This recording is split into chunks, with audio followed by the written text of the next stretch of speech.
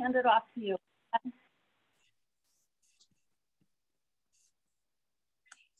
Um, Roxanne, this is Bill Thorne again. I mean, it's a it's a public space. I mean, they could do it whether you know, regardless, right? I mean, I mean, we don't have a monopoly